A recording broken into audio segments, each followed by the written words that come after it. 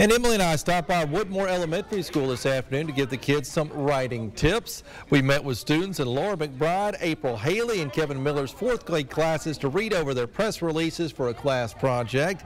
They also asked lots of great questions about journalism and working in news. It was so much fun. Some very smart kids out there. We do thank you for having us. Woodmore Elementary School. And Patrick, one of the questions they wanted to know was, is it hot to be a news anchor? I guess it depends on who you are.